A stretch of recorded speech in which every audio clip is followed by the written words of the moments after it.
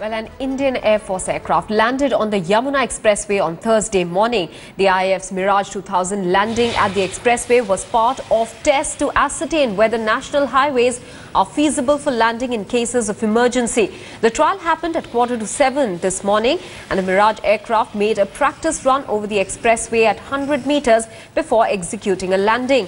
Even as the Mirage fighter plane landed at the expressway, IAF helicopters was seen hovering in the air.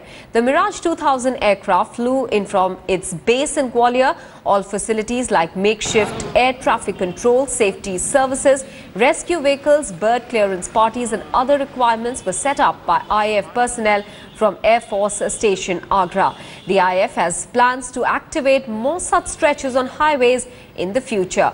Now, before today's daring security exercise, the Indian Air Force has landed the C-130J Super Hercules in Leh in 2013.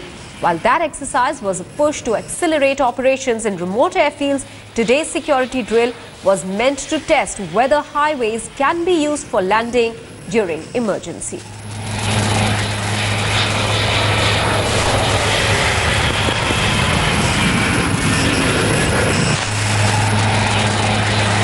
We are just we were exploring whether it is possible for us to effect a landing onto a national highway or an expressway and that is what has been demonstrated today. Yes, we are in the process of identifying more stretches wherein you know such landing can be effected but primarily it has to be seen that this is an emergency uh, uh, option which is available for a fighter aircraft to land on a not exactly emergency preparedness it is it is something which doesn't happen off the cuff it is planned mm. And uh, just to correct the report, you know, one doesn't respond to some other countries uh, landing on runways. This is something which is planned in advance.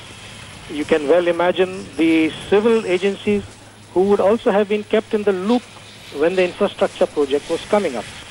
Uh, I do not think that uh, any civil agency would make a road uh, for a, uh, uh, so strong to take on an aircraft, whereas it is just meant to take on public vehicles.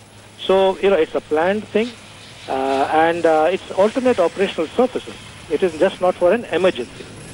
Grappling with dwindling number of fighter planes for the Indian Air Force, this landing on the Yamuna Express Highway of its frontline fighter Mirage 2000 says and achieves a lot with an elaborate plan drawn up to test such similar situations across the length and breadth of the country, an interesting phase is about to begin.